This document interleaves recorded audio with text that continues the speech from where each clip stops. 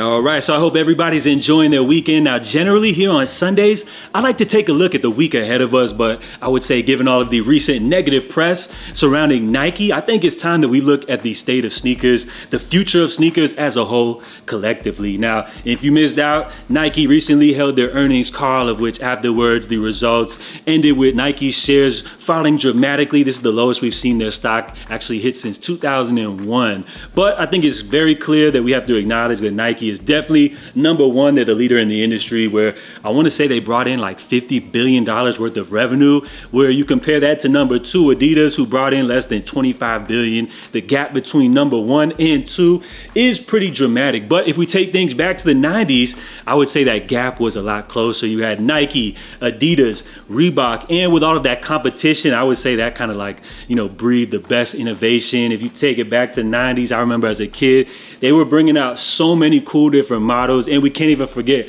about all of the countless Jordans that MJ was rocking. So as far as the 90s, you know how it goes. But then as we got into the 2000s, I would say that gap you know, definitely uh, increased dramatically. Where we saw Nike pretty much dominating the whole lifestyle category. I can't think of anybody that wasn't rocking like retro Jordans, um, retro models like Air Force Ones, even outside of New York. So Nike was killing that. Then you also have the whole sneaker resale bubble where people were getting into the game to flip shoes. You had Nike dropping limited pairs. You know, the rest is history. So with all of that being said, Nike, I would say that they kind of like fell back on their innovation and more so relied on the nostalgia, relied on the storytelling and everything like that. Plus, relied on these limited releases to drive up hype. So with all of that being said, I think Nike got a little ahead of themselves and they wanted to also X out the middleman. And as far as the middleman, that's their retail partner. So rather than selling a lot of their products in stores at the malls,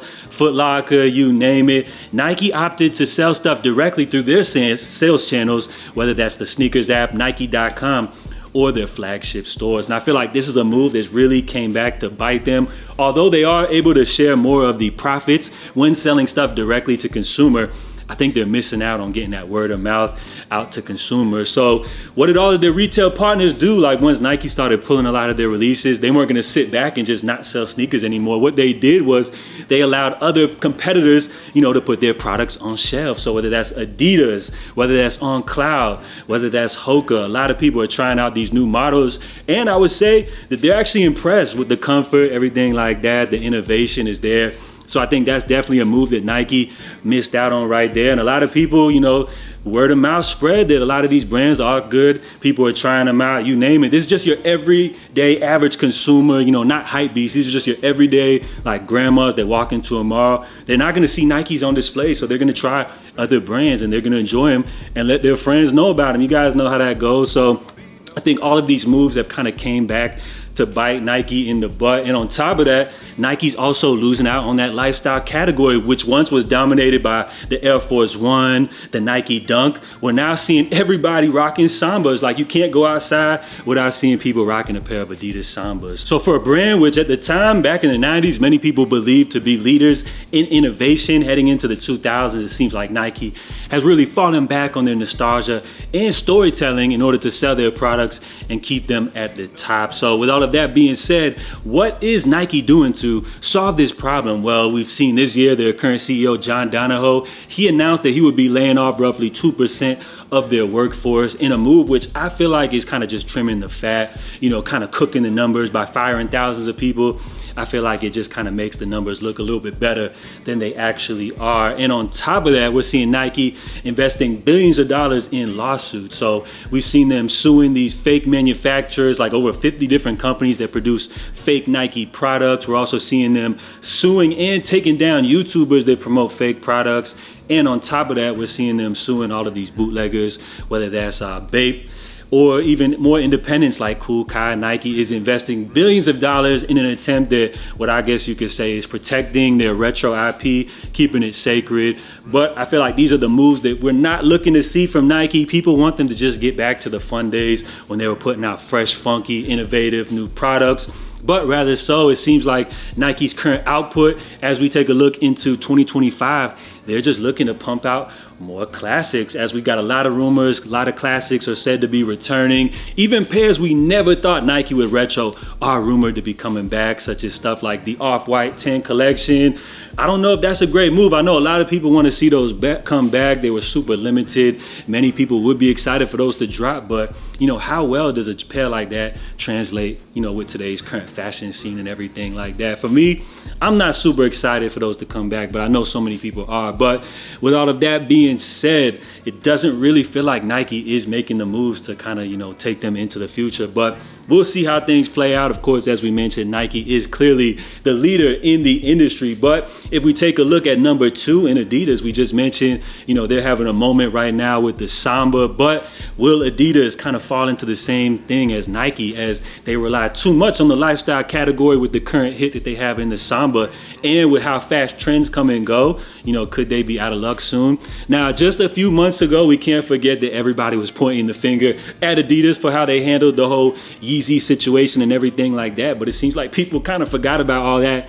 Now that Yeezys are currently on sale, we're even seeing them slashing prices, sending Yeezys to outlets and everything like that. But what's gonna happen when they run out of all of these pairs? I think a big question is, is how much inventory Adidas has left. Is this gonna be the last year that we see them dropping Yeezys or will they still be continuing to drop Yeezys heading into 2025? And given now that Adidas and Yeezy is no longer, do you feel like Adidas being is that they own all of these designs, do you feel like they're gonna let these IPs go to waste or do you see a potential rebrand in the future, something like that? I feel like the best move for Adidas now that like I think all of the controversy controversy with Ye is kind of like blown past would be in their best interest to maybe try to cook up some deal where they can uh, produce these retro models in which he can get his proper cut. That way everything can go, you know, smoothly. Or who knows, maybe even like pick up distribution for like future Yeezy releases um, that they're producing independently, something like that. Because we know, for one, Ye's not going away, and number two, we know he's uh, actually cooking up some type of footwear here in the near future. So I think uh, it may be in Adidas' best interest to potentially try to invest in that or something like that. But as y'all know, uh, that whole war situation is uh, still fresh. A lot of wounds are still open like that. So we'll see how that situation plays out. But as far as Adidas, we know they have a smash hit in the Samba, but I don't want them to follow the same route. Nike went with the Air Force One and Dunk where trends come and go so fast. Who knows, in a couple of years, the Samba could be a meme and we could see sales fall dramatically. Now, as far as like the future of footwear as a whole, you know, I think we're kind of going into this era where, you know, people are looking for more affordable, new, comfortable type of footwear. I think we've seen it like Ye kind of laid out the blueprint, you know, with his $20 Yeezy products. People weren't really looking to invest into new footwear like the pods at 200, but once he dropped that price down to 20, everybody was excited and I think that's kind of the future that we're heading into footwear. I see so many people like commenting all the time on my videos that, you know, the economy's hurting, people aren't looking to spend all this money on shoes anymore. And I totally understand it. I think people aren't looking to pay resale these ridiculous prices anymore. And they're kind of like heading into an era now as far as sneakers where if you miss out on a release, you're not paying resale and you're just gonna move on to when the next pair drops. So what I would like to see is like, you know, the time where these sneakers are dropping at like $250 and all that, that shit is dead with. I wanna see like sneakers 150 or less tops and I think that's what caused people to go out and buy a lot more stuff. I think people are right now excited to try new products. They're just not looking to try stuff, you know, with these expensive over the head crazy prices. So I think if these brands can get their products a lot more affordable, you know, maybe double down on innovation, comfort, but at an affordable price, I think they can uh, boost some of these numbers up. That's just my two cents.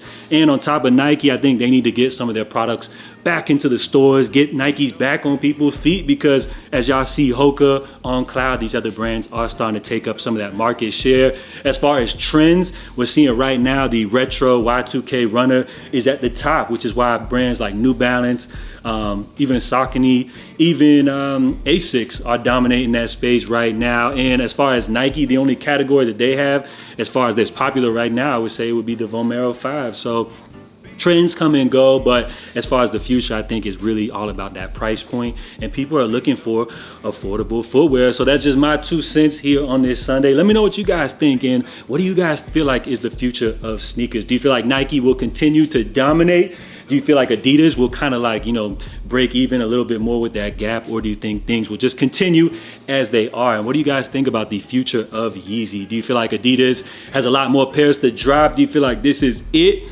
Or potentially they may work out some kind of future deal with Ye. Make things right. It's only wishful thinking at this point, but let me know what y'all think down below. If you enjoyed this little Sunday sneaker discussion, please help support the channel by hitting that thumbs up button. So I'm JA. I will catch you guys tomorrow. In the meantime, stay safe, stay blessed, and I'm out, y'all.